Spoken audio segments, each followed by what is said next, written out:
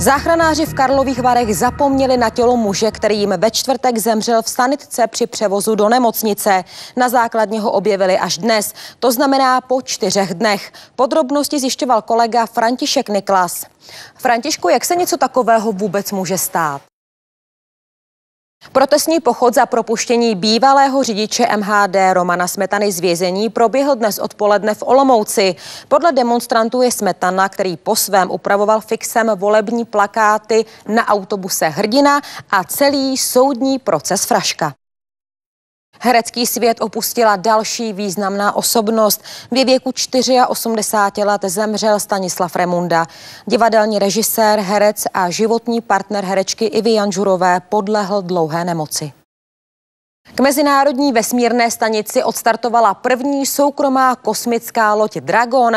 Přestože její vývoj z převážné části financovala NASA, jedná se o zlomový okamžik v dobývání vesmíru. Pokud se let podaří, začne ji americká vesmírná agentura používat pro pravidelné zásobovací lety k ISS. Zpěvačka Eva Farná měla dopravní nehodu. Podle policie řídila pod vlivem alkoholu. Dnes ráno mezi Třincem a Bedriní převrátila svoje auto do příkopu. Podrobnosti zjišťoval reportér Tomáš Kraus. Tomáši, je Eva Farná v pořádku?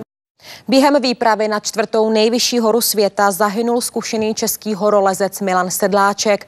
50-letému muži se stal osudný výstup na vrchol himalajské osmitisícovky Lhoce. 30-denní vězení za kyberšikanu, která skončila smrtí. Takový trest si od amerického soudu odnesl 20-letý mladík, který přes webkameru sledoval a natáčel svého homosexuálního spolubydlícího v intimních chvílích. Tento ale neunesl a spáchal sebevraždu. Neznámý lupič přepadl v noci na dnešek se zbraní v ruce hernu v centru Jihlavy. Maskovaný muž tam ukradl servírce peněženku s tržbou. Kontroverzní výtvarník Roman Týc opět stojí před soudem. Ten dnes začal řešit jeho únorovou potyčku s pražskými strážníky. Za násilí proti úřední osobě mu hrozí až čtyři roky vězení.